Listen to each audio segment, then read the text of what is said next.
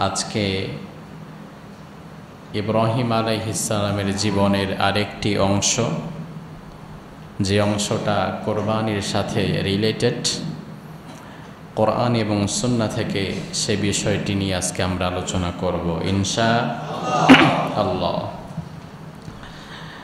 ইব্রাহিম আলাইহিসালাম এমন একজন পায়াগাম্বার, যার গোটা জীবনটাই কোরবানি। তার জীবনকে বলা হয় সেক্রিফেশিয়াল লাইফ অর্থাৎ কোরবানিময় জীবন। অনেক পরীক্ষা, অনেক ত্যাগ, তিতিক্ষা, অনেক স্যাক্রিফাইস তার জীবনে আছে। আজকে আমরা আমাদের কোরবানি কীভাবে থেকে এসেছে, ইব্রাহিম আলাইহিসালামের জীবন থেকে সে বিষয়গুলো নিয়ে আমরা আলোচনা করব। তবে মূল আলোচনা আমাদের কিছুই নাই। মূল আলোচনা যা করার, সেটা আগেই করে দিয়েছেন কে? এখন আল্লাহর কথাগুলোকেই আমরা আপনাদের কাছে পৌঁছে দেব। কোরআন করিমের সুরা, সুরাটির নাম হচ্ছে সুরতু সফাত সুরাটার নামটা বলেন তো? সফাত নাম শুনছেন? এটি হচ্ছে সুরা ইয়াসিনের পরের সুরা। এ সুরার আয়াত নাম্বার একশো। একশো থেকে প্রায় একশো সাত পর্যন্ত এক টানা কোরবানি বিষয়ে আল্লাহ তালা আলোচনা করেছেন ইব্রাহিম আলহিসাল্লামের জীবনের উপরে। ইব্রাহিম আলাইহিসালামের বয়স হয়ে গিয়েছে ছিয়াশি বছর। কত বছর? তাফসিরে কোনো কোনো মুফাসির বলেছেন যে আটাশি, অষ্টআশি বছর। কেউ কেউ আশি, ছিয়াশি বলেছেন। ছিয়াশির ব্যাপারে মুফাসিরদের অধিকাংশ একটা মত আছে। ছিয়াশি বছর যার বয়স, সে কি যুবক নাকি বৃদ্ধ? বয়সের একটা দ্বার প্রান্তে পৌঁছে যাচ্ছে। কিন্তু ওই মুহূর্তে গিয়েও আমাদের বাবা ইব্রাহিম আলাইহিসালামের সন্তান ছিলেন না। তখনও তিনি নিঃসন্তান ছিলেন। এই যে সন্তান হলো না, সন্তান দিলেন নাকে কখনো কখনো আল্লাহ তালা বান্দাকে সন্তান না দিয়েও পরীক্ষা করে। ইব্রাহিম আলাইহিসালাম ছিয়াশি বছর সন্তান নাই। তিনি কিন্তু আশাহত হন নাই। তিনি আল্লাহর কাছে আশা নিয়ে সন্তানের জন্য দোয়া করেই গিয়েছেন করেই গিয়েছেন। এখন ইব্রাহিম আল্লাহর কাছে সন্তান চেয়েছেন কোন দোয়া করে? ওই দোয়াটা আল্লাহ তালা স্পেসিফিকভাবে কোরআনে আয়াত নাজিল করে আমাদেরকে জানিয়ে দিয়েছেন। এজন্য জানিয়ে দিয়েছেন এব্রাহিমের সন্তানদেরকে শিক্ষা নিতে হবে। তোমাদেরও যদি আফটার ম্যারেজ বিয়ের পরে সন্তান হতে দেরি করে, সন্তান না হয়, তাহলে বাবা ইব্রাহিম যে দোয়াটা আল্লাহর কাছে করেছিলেন সন্তানের জন্য, ইব্রাহিমের সন্তানদেরকেও এই দোয়াটা শিখে নিয়ে এই দোয়াটাই করা উচিত। এটা উচিত না? এখন আমরা কি করি? বিয়ে হয়েছে, পাঁচ, দশ বছর, পনেরো বছর সন্তান হয় না। প্রথম কিছুদিন ধৈর্য ধারণ ধৈর্য ধারণ করলেও পরবর্তীতে গিয়ে কোনো মাজারের কাছে গিয়ে মান্যত করে সন্তান চায়। আছে না নাই? শাহজালাল রহিমাহুল্লাহ তার মাজারে চলে যায়। গিয়ে একটা ছাগল, একটা গরু মান্যত করে বলে, বাবা, সন্তান আদি নাই, তুমি একটা সন্তান দাও। গোলাপ সার মাজারে চলে যায়, অমুক মাজারে, তমুক মাজারে চলে যায়। এই মানুষগুলো মাজারে দেখবেন, মাজারের পাশে যদি কোনো মসজিদ থাকে, তাহলে দেখবেন মাজারের মসজিদগুলাতে এত বেশি টাকা পয়সা মানুষ দেয়, অথচ ওই মসজিদে এত টাকা দরকার নাই, কিন্তু যেই মসজিদে টাকা দরকার, ওই মসজিদে টাকা দেওয়ার মতো মানুষ নাই। মাজারের মসজিদে কোনো পয়সা দরকার নাই, ওখানে পয়সা দেওয়ার পরে মসজিদের উন্নয়ন হয় না, মাজারেরও হয় না, হয় হচ্ছে ওই মাজার যে রক্ষণাবেক্ষণ করে তার। তো এটা করা যাবে না, আল্লাহ ছাড়া অন্য কারও কাছে আপনি যদি সন্তান চান, তাহলে আপনি শিরিক করলেন। কি করলেন? ইব্রাহিম আলাইহিসালাম ছিয়াশি বছর বয়সেও দেখেন আল্লাহকে কি বলে? ইব্রাহিম আলাইহিসালাম ছিয়াশি বছর বয়সেও আল্লাহ রাব্বুল আলমিনের কাছে কি বলে সন্তান চেয়েছিলেন? রব্বুল আলমিন তার দোয়াটাকে কোরআনের আয়াত নাজল করে আমাদের শিক্ষার বিষয় বলে জানিয়ে দিয়েছেন। ইব্রাহিম আলাইহিসসালাম বললেন, আল্লাহ রব্বি হাবলি মিনাস সলিহিন। দোয়াটা ছোট না বড়? ছোট না বড়? মুখস্থ করে নেন, কাজে লাগবে জীবনে। বলেন, রব্বি হাবলি মিনাস সলিহীন। ব্যাস, দোয়া শেষ। তিনি আল্লাহকে বললেন, আল্লাহ আমাকে একটা নেককার সন্তান দান করেন। কি বললেন? ছেলে দেন, মেয়ে দেন, আমাদের ভুলটা এখানেই। আমরা যদি সন্তান না হয়, তাইলে আল্লাহর কাছে বলি, আল্লাহ একটা ছেলে দেন। আল্লাহ একটা ছেলে দেন ছেলে দেন। আবার যার ছেলে অনেক মেয়ে নাই, সে বলে, আল্লাহ মেয়ে দেন মেয়ে দেন মেয়ে দেন। এটা মারাত্মক রকমের ভুল। জীবনে অনেক বড় বিপদে পড়বেন, যদি এইভাবে দোয়া করেন। কারণ আপনি যদি বারবার আল্লাহকে বলেন, আল্লাহ ছেলে দেন, ছেড়ে দেন ছেড়ে দেন। আল্লাহ যদি এমন একটা ছেলে কুলাঙ্গার ছেলে ধরায় দেয়, এমন কুলাঙ্গার ছেলে যেই ছেলের কারণে দুনিয়াতে অশান্তি, আবার আখেরাতে হবে জাহান নামে যাবার কারণ। হতে পারে না? আবার যদি বলেন, আল্লাহ, মেয়ে দাও মেয়ে দাও মেয়ে দাও। এমন একটা কুলাঙ্গার মেয়ে আল্লাহ ধরায় দিবে। দুনিয়াতেও নির্লজ্জের মতো থাকবে, আপনাকে সবার সামনে আপনার মাথা মতো করবে। আবার আখেরাতে ওই মেয়ের কারণে আপনি জাহান্নামে হয়ে যেতে পারেন। এজন্য ইব্রাহিম নবীর দোয়া কত চমৎকার। তিনি বলতেন, আল্লাহ, ছেলে দিবা না মেয়ে দিবা, সেটা তোমার ব্যাপার। তবে আমার আর্জি হচ্ছে যেটাই দেও, সেটা যেন সুসন্তান হয়। সোহাল্লা বলবেন না? কারণ তিনি তো বুদ্ধিমান, তিনি বুঝতেন, দুষ্ট গরুর চাইতে শূন্য গোয়াল ভালো। কুলাঙ্গার সন্তান, যেই সন্তান দুনিয়াতে পিতামাতাকে লাঞ্ছিত করে, আখেরাতে আজাবের কারণ হয়, এই কুলাঙ্গার সন্তানের চাইতে সন্তান না থাকা ভালো। এজন্য তিনি দোয়া করলেন, আল্লাহ, ছেলে না মেয়েটা আপনার ব্যাপার, কিন্তু যেটা দিবেন, নেক সন্তান দিবেন। এই দোয়াটা আমাদেরও করা উচিত। এরপরে আল্লাহ তালা ছিয়াশি বছর বয়সের পরে ইব্রাহিম আলাইহিসালামকে সন্তানের সুসংবাদ দিলেন। রব্বুল আলামিন বলেন, ফাবাশশারনাহু বিগুলামিন হালিম। অতঃপর আমি ইব্রাহিমকে একজন নেককার, শুধু নেককার নয়, একজন ধৈর্যশীল, সহনশীল সন্তানের সুসংবাদ দিলাম। আর সেই সন্তান অন্য কেউ না, সেই সন্তানের নাম হচ্ছে ইসমাইল সেই সন্তানের নাম? সন্তান দিলেন আল্লাহ তালা এরপরে আরও অনেক কাহিনী, সন্তান যখন একটু বড় হলো, আল্লাহ তালা বললেন, আরেক জায়গায় রেখে আসতে। তো ওটা যেহেতু আমাদের আলোচ্য বিষয় না সো ওই অংশটা আমরা স্কিপ করে গেলাম। এরপরে আল্লাহ তালা বললেন কোরবানি শুরু হচ্ছে। ইসমাইল আলাইহিসালাম একমাত্র ছেলে। কোরবানির ঘটনার সময় ইব্রাহিমের একমাত্র ছেলেই ছিল ইসমাইল। কোরবানির ঘটনার সময় আর কোনো ছেলে ছিল না। ইসহাক আলহিসাল্লাম এই ঘটনার পরে তার জন্ম। বয়সের শেষ প্রান্তে গিয়ে একজন বাবার একটাই মাত্র ছেলে। এই ছেলের প্রতি বাবার ভালোবাসা বেশি না কম।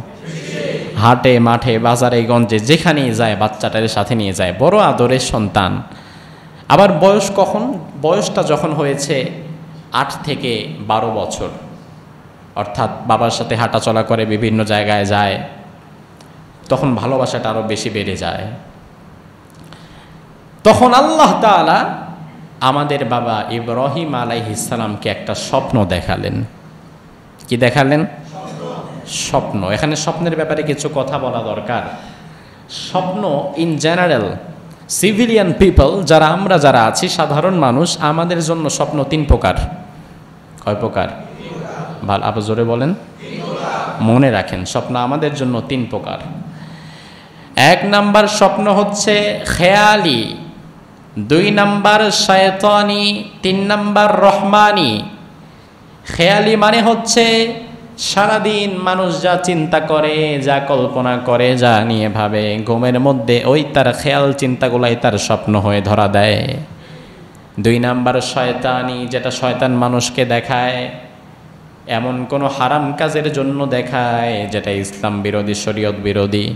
দেখায় অমুক মাজারে গিয়ে যদি শেষ দাদাও তাইলে তোমার মনোবাসনা পূর্ণ হবে। এই যে স্বপ্নটা দেখাল শরীয়ত বিরোধী, এটা দেখিয়েছে শয়তান। কে দেখিয়েছে? এটার নাম হচ্ছে শয়তানি। আর তিন নাম্বার স্বপ্ন হচ্ছে রহমানি, যেটা আল্লাহ তার বান্দাকে মাঝে মাঝে দেখায়। কিন্তু নবীদের জন্য তিন প্রকার নয়, বরং নবীদের জন্য এক প্রকার নবীদের স্বপ্নগুলো হচ্ছে রহমানি, আর ওই স্বপ্নগুলো যিনি দেখান তিনি কে? অন্য কোনো প্রকারের স্বপ্ন নবীরা দেখে না। শুধুমাত্র আল্লাহ প্রদত্ত স্বপ্ন ছাড়া নবীরা অন্য কোনো স্বপ্নই দেখে না। সোহালা বলবেন। আবার নবীরা যে স্বপ্ন দেখেন, এটা নিছক কোনো স্বপ্ন নয়, বরং এটা হচ্ছে আল্লাহ প্রদত্ত একটা ওহি। আল্লাহ প্রদত্ত একটা আদেশ, নির্দেশ। নবীদের স্বপ্ন কত দামি। তিনি স্বপ্নে দেখলেন, তিনি তার সন্তান ইসমাইলকে জবেহ করছেন। কি করছেন? এখন এটা কি নিছক স্বপ্ন না আল্লাহর আদেশ? তিনি তো নবী, তিনি বুঝে গিয়েছেন। ঘুম থেকে ওঠার পরে তিনি চিন্তা করলেন, আল্লাহ স্বপ্ন দেখিয়েছেন, এটা নিছক স্বপ্ন না। আল্লাহ তালা চাচ্ছেন, আমার সন্তান ইসমাইলেরকে কোরবানি আমি দেই। তিনি জোর করে ইসমাইলকে ধরে বেঁধে নিয়ে যান নাই, তোমার কোরবানি করব, চলো। বরং তিনি কি করলেন, সেটাও এ আয়াতের মধ্যে আল্লাহ বলছেন। তিনি ইসমাইলের কাছে গিয়ে বললেন, ইসমাইল কিন্তু তখন বড় মানুষ না, ছোট মানুষ, কিশোর। গিয়ে বললেন, বাবা, দেখেন কি বলে, ইব্রাহিম আলাইহিসালাম বলে, ইন্নি আরফিল মানাম, আমি স্বপ্নে দেখেছি। আন্নি আজবাহুক আমি তোমারে জবাই করতেছি। ফাংদুর মাদা তার, ও আমার বাবা, ইসমাইল আমার প্রিয় পুত্র। এই যে আমি স্বপ্নে তোমাকে জবেহ করতে দেখলাম, এখন এই ব্যাপারে তোমার মন্তব্যটা কি? ইসমাইল ছোট মানুষ, কিন্তু দেখেন ইসমাইলও তো পরবর্তীতে নবী হবে, যার ফলে আল্লাহ তালা ছোট থেকেই ওই নবুয়তের মেজাজ দিয়ে দিয়েছেন ভেতরে। ছোট মানুষ যদি আপনি আপনার দশ বারো বছরের বাবারে বলেন যে, আমি তোমার জব করব, স্বপ্নে দেখছি। এই সন্তান আপনার সাথে আর জীবনে কথাই বলবে না। আর সন্তান যদি বিশ পঁচিশ বছরের হয়, যদি বলেন, তোমার জব করব স্বপ্নে দেখছি। আপনার সন্তান বলবে, বঠিটা আমি নিয়ে আসতেছি, দেখি কে কারে জব করে। ইসমাইল আলাই ইসলামকে যখন বাবা ইব্রাহিম বলল, আমি তো স্বপ্নে দেখেছি, তোমাকে আমি জবাই করতেছি। ফাংধুর মাদা তারা আচ্ছা এই ব্যাপারে তোমার কি মতামত? তুমি বলো তো। ব্যাপারটা এমন না যে, তুমি না বললে আমি জবে করব না। না, তবে তোমার মতামতটা কি আমি একটু জানতে চাই। ইসমাইল আলাইহিসালাম কি বললেন? তিনি বললেন ইফ আল মা তু উমার আপনি তাই করেন যে ব্যাপারে আপনি আদিষ্ট হয়েছেন। কারণ তিনি বুঝলেন যে আমার বাবা আর দশটা মানুষের মতো সাধারণ বাবা না। আমার বাবা নবী, আর নবীর স্বপ্ন বেহুদা স্বপ্ন না, নবীর স্বপ্ন ওহি যেটা আল্লাহ দেখায়। আর আল্লাহ যদি আমি ইসমাইলের কোরবানি চাই আমি ইব্রাহিম, আমি ইসমাইল, আল্লাহর রাহে নিজের জীবনকে কোরবানি করতে প্রস্তুত আছি। ইব্রাহিম আলাইহিসালামের কাছে চলে আসলেন, জিবরিল আমিন। এসে বললেন, মিনায় যেতে হবে, কোরবানির জায়গাটা দেখালেন, আসেন সেখানে নিয়ে যাই, যেখানে কোরবানি করতে হবে। ইব্রাহিম আলাইহিসালাম ইসমাইলকে নিয়ে রওনা হলেন, কোরবানি করবেন। বাবা নিজের সন্তানকে নিয়ে মাঠের দিকে আগাচ্ছে। একটাই সন্তান নিজ হাতে তার গলা কাটতে হবে। ব্যাপারটা কতটা হার্ট টাচিং কত মারাত্মক, আপনি যদি শুধু বাহিরের কান্না দিয়ে দিলের কান দেন, তাইলে বুঝতে পারবেন কত বড় ব্যাপার। সন্তানও যাচ্ছে, যে একটু পরে আমার বাবাটা আমারে জবাই করে ফেলবে। এর ইতোমধ্যে শয়তান দেখল যে কোরবানির জন্য রওনা হয়েছে। প্রথমে শয়তান মা হাজারা আলাই হাসালামের কাছে চলে গেল, কারণ নারীদের মন পুরুষদের চাইতে শক্ত না নরম। গিয়ে বলল, তোমার সন্তান ইসমাইলকে কোথায় নিয়ে যাওয়া হচ্ছে জানো? বলে, না, তা তো জানি না, সকালে নিয়ে বের হলো, কোথাও গেছে বোধহয় আশেপাশে। বলে, না, তোমার সন্তানকে তো জবাই করতে নিয়ে যাচ্ছে, কোরবানি করতে নিয়ে যাচ্ছে। বলে, না, এটা আমি বিশ্বাস করি না। আরে বলে হ্যাঁ সত্যি কোরবানি করতে নিয়ে যাচ্ছে। বলে, এত ভালোবাসে তার বাবা তাকে, কোরবানি করার তো প্রশ্নই আসে না। শয়তান বলে, আরে, সে তো নিজের ইচ্ছা নিয়ে যাচ্ছে না। আল্লাহ তাকে আদেশ করেছে কোরবানি করতে নিয়ে যাচ্ছে। মাহা যারা আলাইহাস সালাম বলল, আল্লাহ আদেশ করেছে? ব্যাপারটা কি এটা? বলে হ্যাঁ। আল্লাহ যদি আদেশ করে থাকে, তাহলে একটা ইসমাইল কেন? হাজারটা ইসমাইল আল্লাহর পথে কোরবানি হয়ে যাক। শয়তান দেখল না।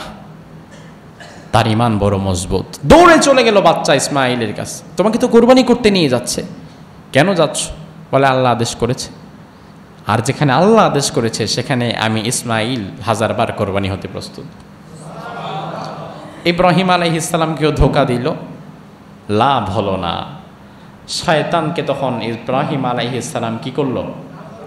পাথর নিক্ষেপ করল। এজন্য যারা হজে যায় ইব্রাহিম আলাইহিসাল্লামের স্মৃতির ওই অংশটুকুকে ধরে রাখার জন্য আল্লাহ তালা হাজিদেরও শয়তানের একটা আকৃতি, একটা পিলার সেখানে পাথর মারার একটা ব্যাপার আল্লাহ তালা কোট করে দিয়েছেন। দেখেন, এই যে স্যাক্রিফাইসটা তারা করছে কার জন্য? আল্লাহর জন্য। আজকের যুগেও আল্লাহর দিনকে উজ্জীবিত করার জন্য ইসমাইলের মতো সন্তান দরকার। আল্লাহর দিনকে উজ্জীবিত করার জন্য ইব্রাহিমের মতো বাবা দরকার আর মা হাজারার মতো একজন মা দরকার, যারা প্রয়োজনে নিজের সন্তানকে আল্লাহর দিনের জন্য ওয়াকফ করে দিতে পারে। এরকমের মা, বাবা, সন্তান আজকের যুগেও দরকার। আল্লাহর হুকুমের সামনে কোনো কথা নাই। দুনিয়ার সম্পর্ক সম্পর্কের জায়গায়, কিন্তু আল্লাহর হুকুম যেখানে, সেখানে আল্লাহর হুকুমের কাছে মাথা নত করে দিতে হবে। এটাই কোরবানির শিক্ষা। এটাই কোরবানির প্রকৃত শিক্ষা। ইব্রাহিম আলাইহিসালাম ইসমাইলকে নিয়ে চলে গেলেন। কোরবানি যেখানে করাবেন, জিব্রিল আমিন ওই কোরবানির জায়গাটাকে দেখিয়ে দিলেন। এবার ইব্রাহিম আলাইহিসালাম তার সন্তানকে সেখানে শুইয়ে দিলেন। শুইয়ে দেওয়ার পরে ইসমাইল আলাইহিসালাম ছোট্ট মানুষ বলে, বাবা, বড় বেশি ভালো আপনি আমাকে বাসেন। আপনি নিজ হাতে আমাকে যখন কোরবানি করবেন, আমার মায়াবী মুখখানা যখন আপনার চোখে থাকবে, আল্লাহর হুকুম পালন করতে আপনার কষ্ট হয়ে যেতে পারে। এজন্য আপনি নিজের চোখের মধ্যে একটা কাপড় বেঁধে নেন, যেন আপনি না দেখে আমার গলাটাকে কেটে ফেলতে পারেন।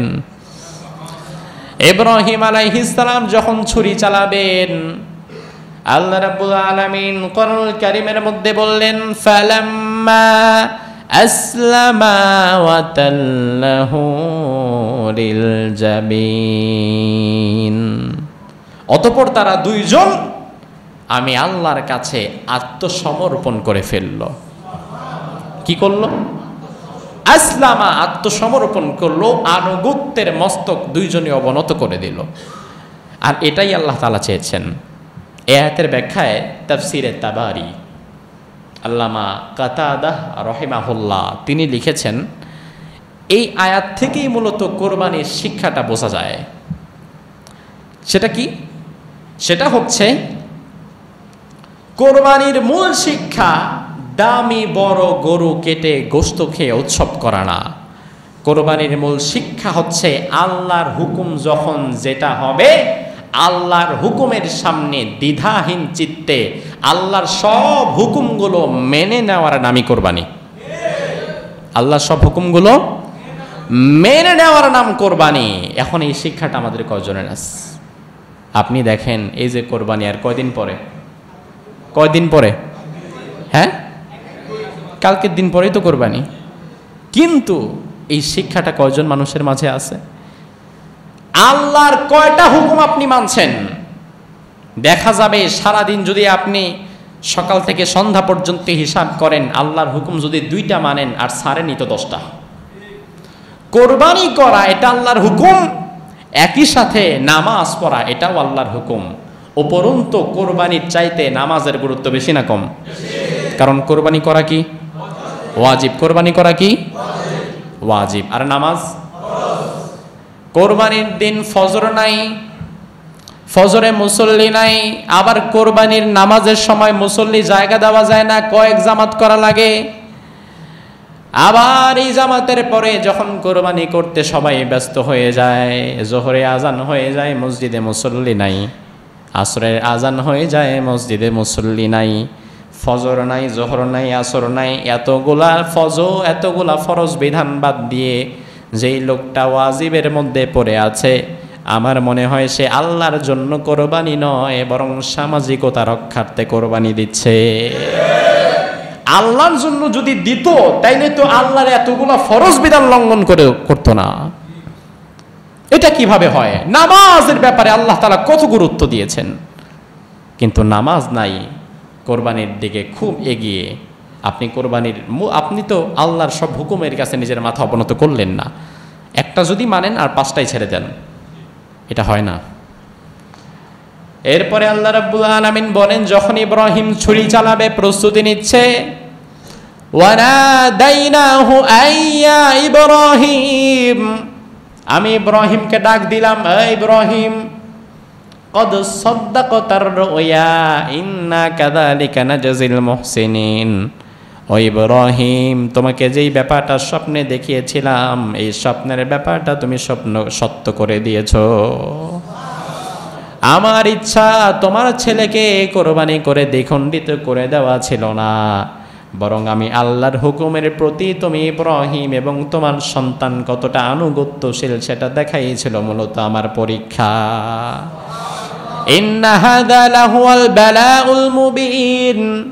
আল্লাহ নিজেই বললেন, এটা অনেক বড় পরীক্ষা।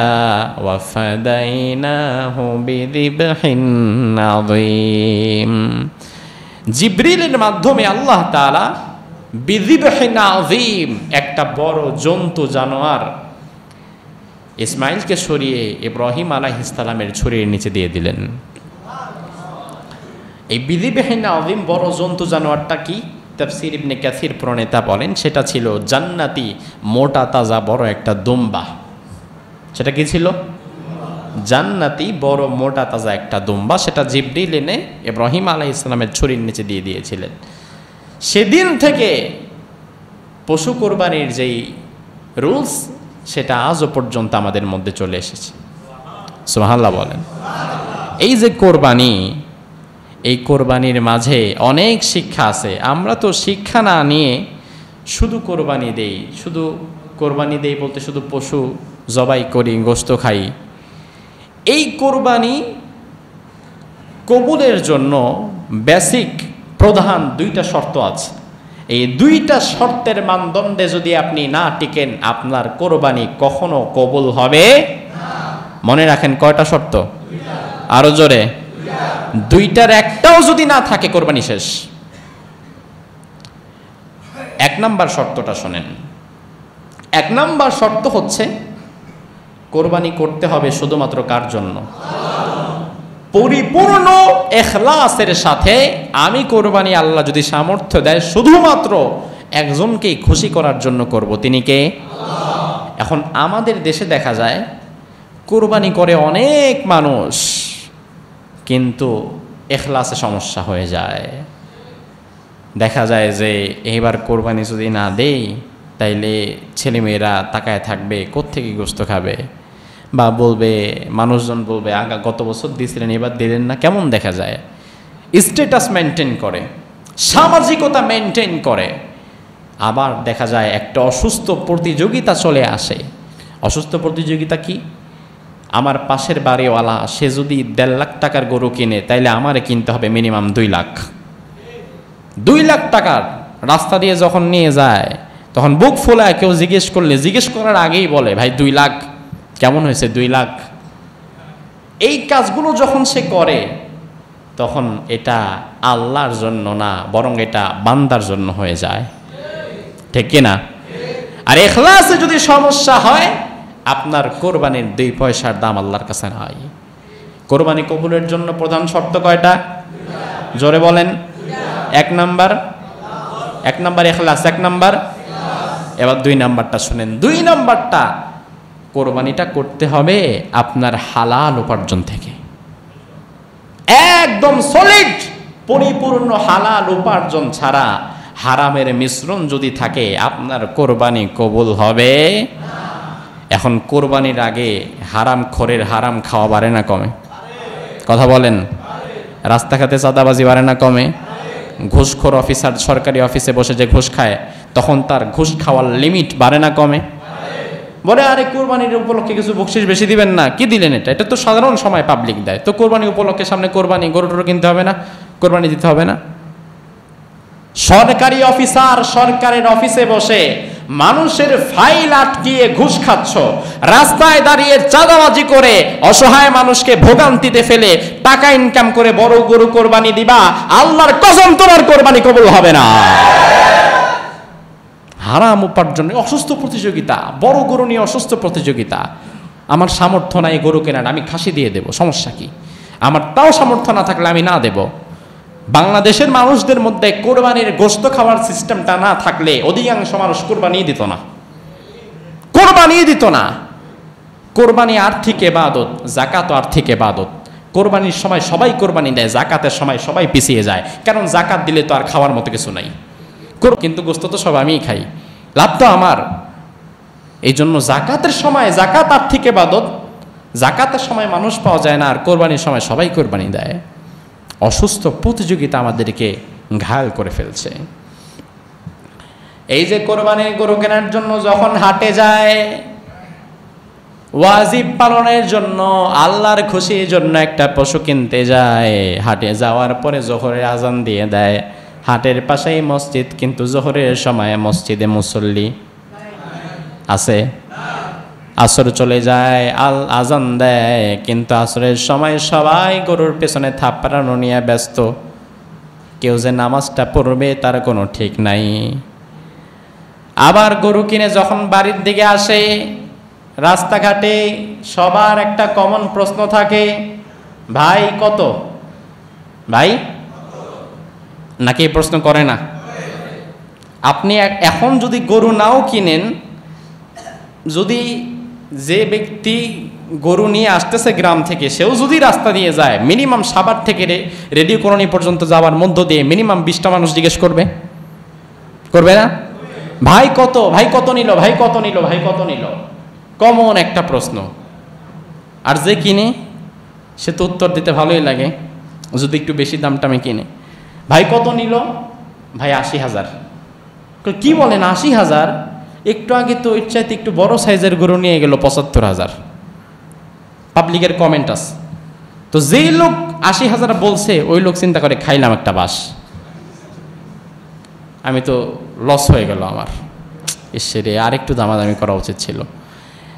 এই লাভ লসের হিসাব যখন মাথায় ঢুকে যায় তখন কোরবানি থাকে না, তখন এটা কমার্শিয়াল গোস্ত খাবার মধ্যে চলে যায়। আরে আমি কত দিয়ে কিনছি? এটা তোমার তো জানার খুব বেশি দরকার নাই। বাজার দর যাচাইয়ের জন্য জিজ্ঞেস করতে পারে, কিন্তু আমার লাভ হইল না লস হইল, সেটা তুমি বলার কে? আমি তো কিনছি আল্লাহর জন্য, লাভ হইল না লস হইল, সেটা তো ঠিক করবেন আল্লাহ। আমি তো তোমার জন্য বা আমার জন্য কিনি নাই। আল্লাহর জন্য যেহেতু কিনছি, লাভ হলেও একটা আল্লাহ ঠিক করবেন লস হলেও আল্লাহ ঠিক করবেন। বরং আমি তো বলি, একটা মধ্যবিত্ত মানুষ, সে কষ্ট করে সাত আট হাজার টাকা দিয়ে একটা ছাগল কিনে কোরবানি দিয়েছে। এখলাস যদি ঠিক থাকে, উপার্জনটা যদি হালাল থাকে, তাহলে তার কোরবানিটা কবুল হয়ে যাবে, ওটাই হচ্ছে প্রকৃতপক্ষে লাভ। দশ লাখ টাকার গরু নিয়ে যাচ্ছে, মালা টালা পরায়া মাইকিং করতে করতে। এখলাস ঠিক নাই উপার্জনের মধ্যে ভেজাল। দুনিয়ার হাজার মানুষ সেটাকে লাভ বললেও আমি বলব প্রকৃতপক্ষে ওটাই লস ওটা লাভ না, ওটাই লস তো কোরবানি নিয়ে এরকমের অসুস্থ প্রতিযোগিতা আমাদের মধ্যে চলে এসেছে। এই অসুস্থ প্রতিযোগিতাগুলো থেকে আল্লাহ হেফাজত করুক। আরও জোরে বলেন। এবার আসেন। কোরবানির গোস্ত এটা কয় ভাগ করবেন? কথা বলেন। কয় ভাগ? আল্লাহ রাব্বুল আলামিন সূরা হজের মধ্যে বলছেন, ফাকুলু মিনহা ওয়া আতাইমুল বাইসাল ফাকির। তোমরা বাহিমাতুল আনাম যেগুলো আছে, এগুলা নিজেরা খাও। ওয়া আতাইমুল বাইসাল ফাকির, এবং গরিব অসহায়দের মাঝেও বিলিয়ে দাও। আবার আরেক আয়াতে আল্লাহ বললেন, ফাকুলু মিনহা ওয়া আতাইমুল কানিআ ওয়াল মুতার। এই গোস্তগুলো তোমরা নিজেরা খাও এবং এই সাথে সাথে তোমাদের আত্মীয় স্বজন এবং গরিব অসহায় মানুষদেরকেও দাও। এই আয়াতগুলোকে সামনে নিয়ে মুফাক যারা হাদিস শাস্ত্র এবং ফিক শাস্ত্র নিয়ে গবেষণা করে, ফাকিহ যারা, তারা মাসালা ইস্তেমবাদ করেছে। কোরবানি করার পরে তিন ভাগ গোস্তকে বন্টন করা এটা উত্তম। এটা কি? কথা বলেন। ফরজ? ফরজ কিন্তু না। আল্লাহ তালা ফরজ করলেন না। দেখেন, ইসলাম কতটা মানবিক কতটা মানবিক। আল্লাহ তালা যদি তিন ভাগ ফরজ করে দিত, যে গোস্ত কোরবানি দিলেই তিন ভাগ করা ফরজ, তাহলে দেখা যেত অনেক সময় আট দশ জনের একটা ফ্যামিলি, জয়েন্ট ফ্যামিলি। এই ফ্যামিলি থেকে যে কোনো একজন ছোট্ট একটা খাসি কোরবানি দিল। কাটা সাটার পরে দেখা গেল তার খাসির গোস্ত টিকল সাত আট কেজি। এখন এই পরিবার যদি তিনটা ভাগ করতে হতো, তখন ফরজ যদি হতো, তাহলে তাদের এক বেলাও ঠিক করে সবাই খেতে পারতো না। তখন তাদের জন্য কর্তব্য হচ্ছে, তারা তাদের মতো করে খাবে এবং যদি কিছু পারে, সেটা গরিব, অসহায় বা আশেপাশে যারা আছে, তাদেরকে দেওয়ার চেষ্টা করবে, না দিলেও গোনা হবে না। আবার অন্যদিকে অনেক ধনী মানুষ আছে তিনটা, চারটা কোরবানি দেয়। গরুও দেয়, খাসিও দেয়। আবার ওই ব্যক্তি দু একদিন পর পরে বাজার থেকে গরুর ভালো গোস্ত কিনেও খেতে পারে। ওই লোকের তখন উচিত তিন ভাগ না কয় ভাগ ওই দিকে না আগে নিজের খাওয়ার জন্য এক, দুই ভাগ রেখে, এক, দুই ভাগ না সরি নিজের খাওয়ার জন্য এক, দুই দিনের গোস্ত রেখে বাকিটা গরিব, অসহায় এবং আত্মীয় স্বজনের মধ্যে বিলিয়ে দেওয়া। তাহলে যেটা হবে? এই ঈদের মধ্যে অনেক মানুষ এমন আছে যারা গোস্ত খেতে পারে না, তারা অন্তত গোস্তের একটু স্বাদ পাবে। ঠিক না? তারা অন্তত গোস্তের একটু স্বাদ পাবে। এজন্য চেষ্টা করবেন যদি সামর্থ্য থাকে, একটু বেশি অংশটাই মানুষকে দিয়ে দেন না। মানুষ একটু খাক। ওরা তো একদিনই খাবে। আপনি, আমি তো প্রত্যেক দিন খাই। আমরা তো প্রত্যেক সপ্তাহে খাই। ওরা তো এই এক সিজনে আপনার কি মনে হয় সাতশো আটশো টাকা কেজি গরুর গোস্ত এই সমাজের সবাই খেতে পারে? খেতে পারে? গরিব মানুষ তো দূরের কথা, অনেক মধ্যবিত্ত পরিবার সারা বছরে এক কেজি গরুর গোস্ত কিনে না। এমন অনেক আছে, এক কেজি গরুর গোস্ত তারা কিনে না। এজন্য চেষ্টা করবেন একটু গরিব অসহায়দের মাঝে একটু বেশি অংশ দিয়ে দিতে। এবং প্রকৃত অসহায় যারা, তাদেরকে দেওয়ার চেষ্টাটা বেশি করবেন। নর্মালি দেখা যাচ্ছে আমাদের শহরাঞ্চলে কোরবানি দেয় প্রায় নাইনটি পার্সেন্ট মানুষ। প্রায় নব্বই ভাগ মানুষই কোরবানি দেয়। অনেক ভাড়াটিয়ারাও দুই, চারজন মিলে কোরবানি দিয়ে দেয়। কোরবানি দেয় না, এরকম মানুষ পাওয়া টাফ শহরাঞ্চলে যারা ফকির, তারা এক বাসা আরেক বাসা ঘুরতে ঘুরতে ঘুরতে ঘুরতে দিন শেষে দেখা যায় এক একজন মিনিমাম বিশ পঁচিশ কেজি গোস্ত জোগাড় করে ফেলে। সবার বাসায় যে যে দুই, চার পিস করে করে পায়, এক, দুই পিস করে করে পায়, ওগুলাই দিন শেষে অনেক হয়ে যায়। এখন তার তো বাসায় ফ্রিজ নাই। সে সন্ধ্যা দিকে এসে এগুলা আবার পাইকারি বাজারে বিক্রি করে দেয়। কথা কন না। দেয় না? এগুলো আবার রেস্টুরেন্টওয়ালারা কিনে কোরবানির পরে দুই মাস আবার এগুলো আমাদেরকে খাওয়ায়। কিন্তু প্রকৃতপক্ষে আপনি একটু ভেতরের দিকে যান। বা একটু বন্যার্থ এলাকার দিকে ফোকাস করেন বা মানিকগঞ্জের যে চরাঞ্চল যেগুলা, যেগুলার মানুষ প্রকৃতপক্ষে চরম অভাবী, ওই মানুষগুলোর একটু যদি খোঁজ নেন কোনো দিন যে কোনো দিন যদি যে একটু খোঁজ নেন, তাহলে আপনার ধারণাটাই পাল্টে যাবে। ঈদের দিন পর্যন্ত গোস্ত তো দূরের কথা, ভাত খাওয়ার মতো ভাত অনেকের ঘরে নাই। ঘাস পাতা, জাল দিয়ে, লবণ দিয়ে কোনো মতো কিছু একটা খেয়ে চলে যায়। ঈদ তো আপনি, আমি হিসাব করি একদিন পরে, দুই দিন পরে কিন্তু তাদের ঈদ যে কোন দিক দিয়ে আসে, কোন দিক দিয়ে যায় কেউ জানে না। তো আপনারা জানেন, আমার একটা ফাউন্ডেশন আছে, আকাবা ফাউন্ডেশন বাংলাদেশ। তো এই ফাউন্ডেশনের পক্ষ থেকে এইবার প্রথম আমি একটা উদ্যোগ নিয়েছি। আপনাদের উৎসাহের জন্য আপনাদের সাথে শেয়ার করি। সেটা হচ্ছে, একটু ভেতরের চরাঞ্চলের প্রকৃত অসহায়, অভাবী মানুষ যারা আমি চেষ্টা করেছি তাদের ওখানে কিছু কোরবানি করে ওই প্রকৃত মানুষদেরকে অন্তত একটা দিন হলেও গোস্তের একটু স্বাদ দেওয়া, ঈদকে সার্বজনীন করে দেওয়া, সবার মাঝে একটু থাকুক। কয়েকটা প্রজেক্টে আমরা আলহামদুলিল্লাহ গরু কিনেছি। মানিকগঞ্জের খুব ভেতরের একটা চর, একশো বিশ জন মানুষ সেই চরে থাকে। চরের অবস্থা যারা জানেন, তারা বুঝবেন যে চর কি জিনিস। চর হচ্ছে এমন এক গজব, আজকে শুয়ে আসি তো কালকে নাই। কালকে পানির নিচে, আবার আরেক জায়গায় গিয়ে, ভাসমান জীবন, ভাসমান। বাপের বাড়ি ছিল কোন জায়গায় জানি না, দাদার, আমি মরবো কোথায় তাও জানি না, কবর হবে কোথাও তাও ঠিক নাই। ওই চরে একটা ছোট্ট টিনের ভাঙাচোরা মসজিদও পেলাম। মানুষজন কম শিক্ষা প্রতিষ্ঠান নাই বাজারঘাট নাই। ওই চরে গিয়ে অসহায় একজন মানুষের থেকে একটা গরু কিনে আমরা বললাম যে এটা আপনাদের মাঝে এখন রাখেন, লালন পালন করেন। আমরা ঈদের মধ্যে এসে কোরবানি করে এটা আপনাদের মাঝেই বিলিয়ে দিয়ে যাব। তো সেখানে যাওয়ার পরে দেখলাম আপনাদের এই মসজিদ, এই মাদ্রাসায় একে এক সময় দীর্ঘ দশ বারো বছর খেদমত করেছে এমন একজন হুজুরকে আমি পেলাম। খুব কষ্টে তিনি আছেন, ওখানে তিনি থাকেন। তো তিনি, আমি তো চিনি না, তো আমি মসজিদের কথা বলার পরে তিনি পরিচয় দিলেন। কণ্ঠে সমস্যা হয়ে যাওয়ার কারণে পরবর্তীতে চলে গেছেন। তো আমরা চেষ্টা করেছি সমস্ত প্রত্যন্ত অঞ্চলে মানুষদের কাছে অন্তত পক্ষে একটু একটু একটু পৌঁছে দেওয়া। যতটুকু পারি। এই চেষ্টাটা আপনারাও যদি সামর্থ্য হয়, আপনারাও এই চেষ্টাটা অন্তত করবেন। কারণ শহরাঞ্চলের ফকিরা তো বিশ পঁচিশ কেজি গোস্ত পেয়ে বিক্রি করে দেয়, আর এরা তো এক টুকরাও পায় না। আপনারা চেষ্টা করবেন তাদেরকে কিছু দেওয়ার। আল্লাহ তালা আমাদের সকলের কোরবানিকে কবুল করুক। এখন কোরবানির গোস্ত কতদিন পর্যন্ত রেখে খাওয়া যাবে? আল্লাহর হাবিব সাল্লাহ আলহিহাসাল্লাম যখন মদিনায় গেলেন, প্রথম বছরে সাহাবিদের মাঝে অনেক অভাব ছিল। এজন্য আল্লাহর হাবিব বললেন, তিন দিনের বেশি কেউ কোরবানির গোস্ত রাখবা না।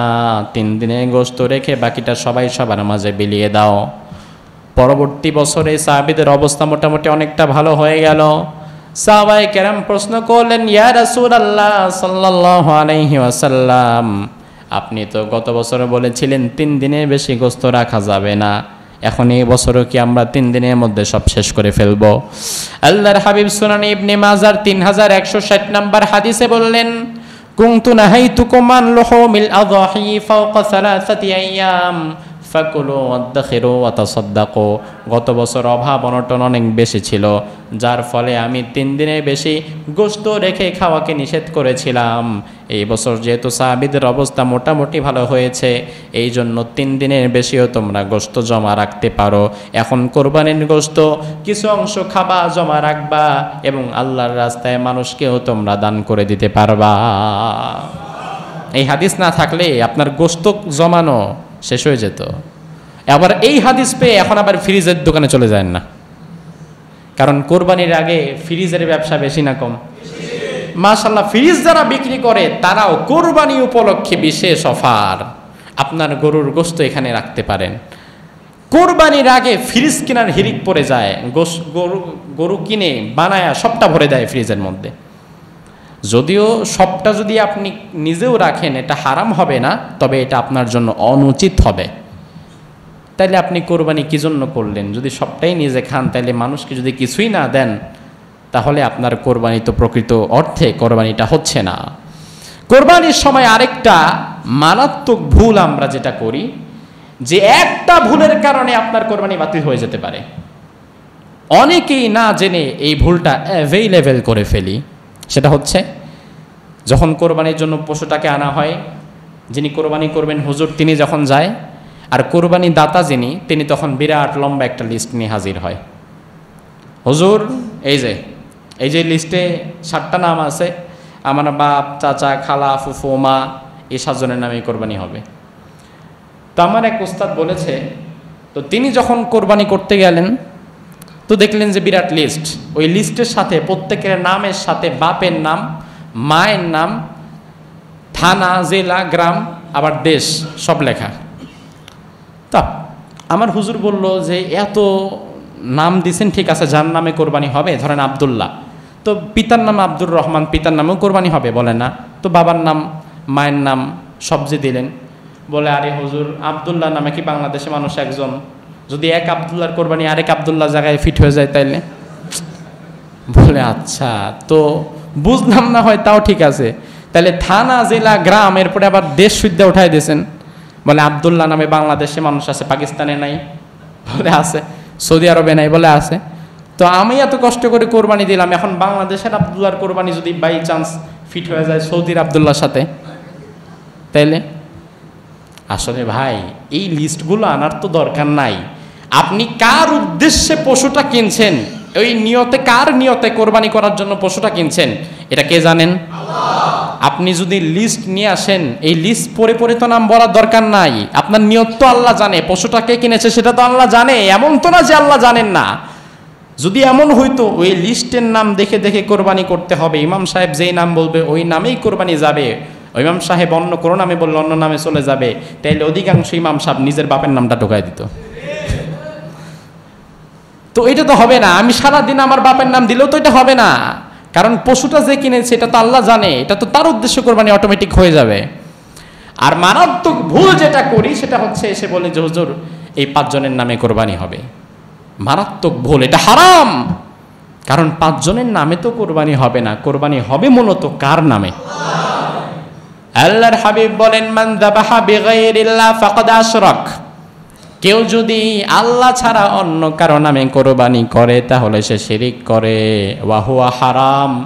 এবং আল্লাহ ছাড়া অন্য কোনো কারও নামে কোরবানি করার পরে ওই গরুর গোস্ত ওই পশুর গোস্ত খাওয়াও সবার জন্য হারাম। তো আপনি কীভাবে বলেন, আমার বাবার নামে কোরবানিটা হবে? আমার মায়ের নামে হবে? বরং বলতে হবে, আমার বাবা মায়ের পক্ষ থেকে হবে। আমার বাবা মায়ের বা আমার পক্ষ থেকে হবে, কিন্তু কার নামে হবে? এজন্য এখন ইমাম সাহেবকে কি লিস্ট ধরাবেন? বলবেন যে আমার বাপের নামে হবে। বলবেন, কার নামে হবে? আল্লাহর নামে হবে, কিন্তু আমার বাবা মায়ের বা আমার পক্ষ থেকে হবে। এই জন্য ভাষার দিকে লক্ষ্য রাখবেন। ভাষা এদিক সেদিক হলে শিরিক হয়ে যায়। সর্বশেষ গুরুত্বপূর্ণ একটা আমল, সেটা হচ্ছে জিলহজ মাস চলছে। আজকের দিনে হাজিরা কি করছে? আরাফার ময়দানে চলে গেছে। লাব্বাইক লাব্বাইক বলে আল্লাহ তালার কাছে কাঁদছে। এখানে আলহামদুলিল্লাহ অনেকে আছেন, তারা হজ করেছেন। আবার অনেকে আছে যারা এখন হজ, হজে যেতে পারেন নাই। তবে হজে যারা গিয়েছেন অথবা যারা যেতে পারেন নাই, জীবনে কি অন্তত একবার হজে যাওয়ার ইচ্ছা আছে? ইচ্ছাটা আছে মনের ভেতরে? ওই যে কালো ঘরটা বারবার দেখেছেন, হাজিরা যেই ঘরটার পাশে তো অফ করে, ওই যে নবীর রওজাটা, সবুজ গম্বুজটা দেখেছেন, ওখানে গিয়ে কি রাসুলকে একটু সালাম দেওয়ার ইচ্ছা আছে? ওই ঘরে গিয়ে কি দুই রাকাত নামাজ পড়ার ইচ্ছা আছে? তাহলে আল্লাহর কাছে আমরা এই সময় দোয়া করছি, আল্লাহ কাফুরের কাপড় গায়ে জড়াবার পূর্বে অন্তত জীবনে একবার হলেও এহরামের কাপড়টা জড়াবার তৌফিক দিও। দোয়াটা আল্লাহর কাছে করে নিলাম। কবুল করার দায়িত্ব কার?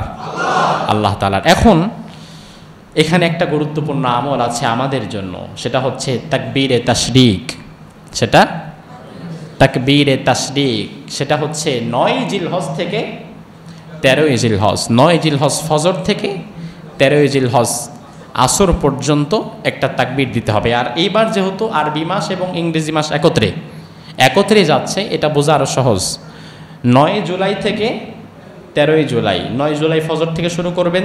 তেরোই জুলাই আসরে গিয়ে শেষ হবে। তাকবীরে তাসরিকটা পাঠ করবেন। তাকবীরে তাসরিকটা পারেন? পারেন পারেন। বলেন, আল্লাহ আকবর আল্লাহ আকবর ইলাহা আল্লাহ আকবর আল্লাহ আকবর, ওয়ালিল্লাহিল হামদ। ঈদগাহে যখন আসবেন ঈদের নামাজের জন্য, তখনও জবানে এই তাকবিরটা থাকবে। যখন যাবেন, তখনও এই তাকবিরটা থাকবে। পাঁচ রক্ত আগামীকাল ফজরের পর থেকে ইমাম সাহেবের মনে থাক বা না থাক, সবাই একত্রিত করে পড়াশুরু করে দিবেন। পুরুষরা যারা আছে, তারা একটু উচ্চস্বরে পড়বে আর মহিলারা পড়বে মৃদু স্বরে। এ তাকবির এ তাসরিক, এটা পাঠ করবেন। আল্লাহ তালা কবুল করুক। বলেন, আমিন। এবং আমাদের এখানে ঈদের সালাতের সময় কমিটি থেকে সিদ্ধান্ত হয়েছে কয়টা? সাতটা।